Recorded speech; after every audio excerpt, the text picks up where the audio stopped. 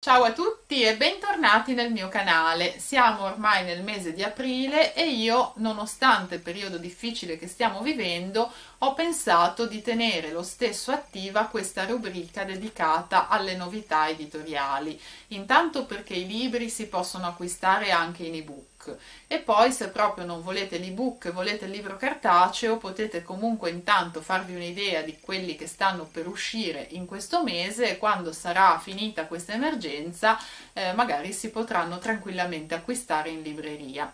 Il primo libro si intitola Il fossile e racconta la storia di Klaus e Doris che hanno trovato sepolto in una dolina uno scheletro di Neanderthal. Riportarlo alla luce farà risvegliare qualcosa di inarrestabile. Credo che questo libro contenga al suo interno diversi generi, tra cui un po' di fantasy, un po' di giallo, un po' di thriller, quindi sicuramente potrà essere essere avvincente se è scritto bene. Il secondo libro si intitola La strega e il cacciatore e racconta la storia d'amore e di un matrimonio tra una strega e un cacciatore di streghe. Credo che sia ambientato nel Medioevo, comunque in quel periodo lì, e porta alla luce una lotta tra sentimenti contrastanti e scelte difficili da compiere, perché comunque è una coppia sicuramente eh, con tanti conflitti, perché una strega e un cacciatore di streghe che si sposano, stanno insieme, vivono una storia d'amore eh, sicuramente porterà alla luce diversi vissuti. Mi sembra comunque un tema abbastanza interessante, forse anche un libro un po' diverso dal solito. Il terzo libro si intitola A sua immagine, racconta la storia di una ragazza che ha la passione per la fotografia, ma vive in un paesino un po' antiquato, dove i ruoli tra maschile e femminile sono abbastanza definiti e non possono uscire da certi schemi.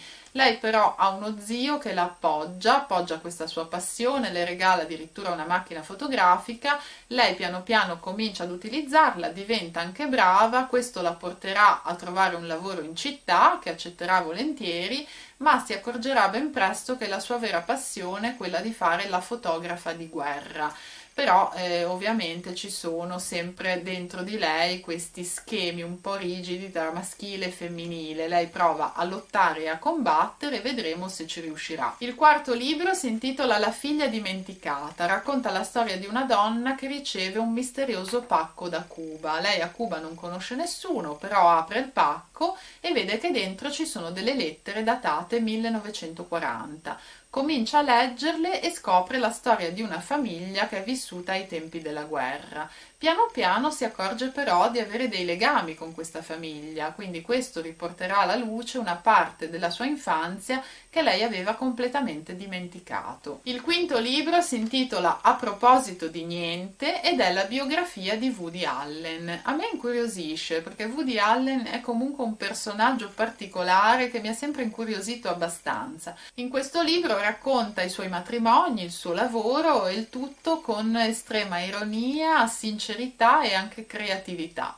Il sesto libro si intitola Lillian Boxfish si fa un giro. È un romanzo ispirato alla storia vera di Margaret Fishbeck e alla sua folgorante carriera nel campo pubblicitario. Questo in realtà è un romanzo che prende solo spunto da questa storia, perché nel romanzo vedremo Lillian che è una donna di 85 anni, molto attiva, molto dinamica, con alle spalle una brillante carriera che il 31 dicembre del 1984 decide di farsi un giro per le strade di New York e ogni passo che farà sarà legato ad un suo ricordo di vita, quindi diciamo che è un libro che andrà poi a raccontare la vita di questa donna attraverso i ricordi legati ad ogni angolo della città di New York. È un libro particolare che mi ha incuriosito, quindi ho pensato di segnalarvelo. Questi sono tutti i libri che usciranno nel mese di aprile, sono disponibili anche in ebook, ma io spero che molto presto noi potremo tornare alla normalità